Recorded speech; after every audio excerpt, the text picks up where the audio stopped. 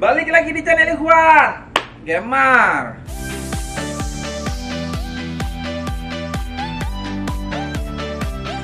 Pada kesempatan kali ini saya akan mereview mesin rumput baterai dari Xenon ya Yaitu dengan tipe CDGT 800 teman-teman Yang sudah saya pakai sekitar 3-4 bulan ya.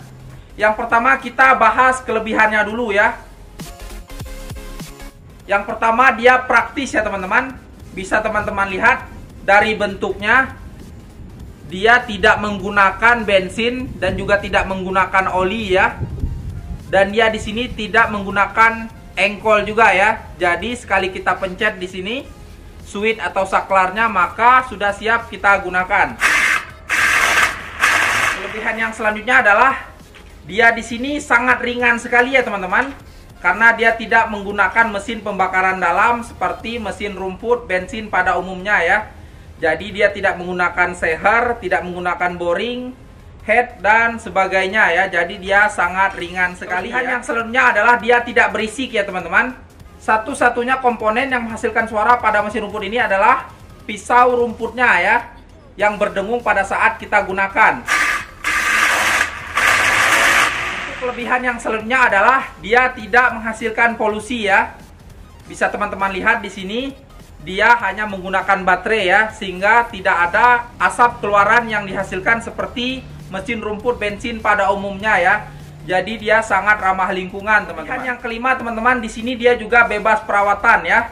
Tidak seperti mesin bensin yang harus biasanya dilumuri dengan menggunakan gemuk, teman-teman, atau oli ya sebagai pelumas. Di sini dia tidak ada sama sekali ya. Jadi perawatannya hanya dibersihkan saja ketika selesai digunakan ya. Selain itu dia tidak ada, teman-teman perawatan khusus seperti mesin rumput bensin pada umumnya ya. Kan yang selanjutnya dia mudah dibawa ke mana-mana teman-teman ya, karena dia di sini sangat ringkas dan kompak ya teman-teman, cukup dipendekkan seperti ini. Dan kemudian ini mudah untuk dibawa-bawa ya. Pilihan yang selanjutnya di sini dia hemat juga ya. Jadi penggunaannya kita cukup dengan menggunakan charger yang berdaya rendah seperti ini ya untuk mengisi kedua baterainya setelah itu kita sudah siap menggunakannya secara berulang ya. Jadi kita tidak perlu membeli bensin, oli dan sebagainya. Cukup kita cas saja ya teman-teman. Dan kelebihan yang terakhir teman-teman, di sini kita juga bisa membabat rumput yang memiliki batang keras ya dengan menggunakan mata pisau rumput TCT ini ya. Oke teman-teman, itu tadi untuk kelebihannya ya. Sekarang kita masuk ke kekurangan untuk kekurangan yang pertama adalah tenaganya ini ternyata tidak sekuat mesin bensin ya. Jadi kalau kita adu performanya dengan menggunakan mesin rumput bensin ya, dia lumayan jauh tertinggal teman-teman tenaganya ya.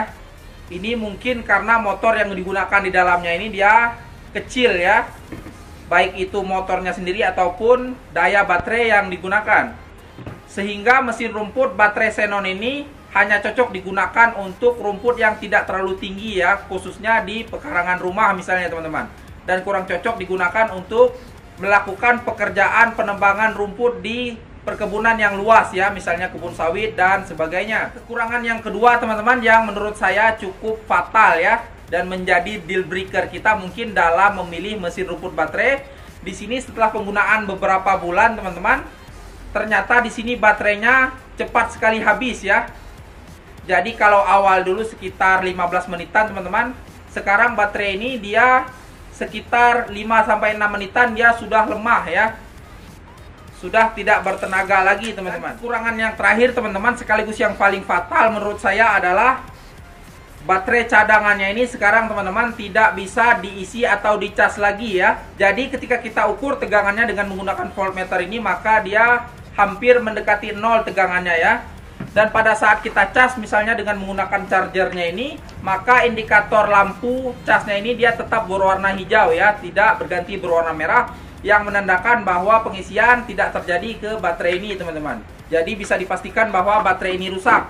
Dia drop dan dia tidak bisa dicas teman-teman. Jadi di sini menurut saya dua kekurangan ini sangat fatal sekali ya yang di mana baterainya tidak sampai 10 menit dan ditambah lagi baterai yang satunya ini rusak ya yang membuat mesin rumput ini kualitasnya lumayan dipertanyakan ya.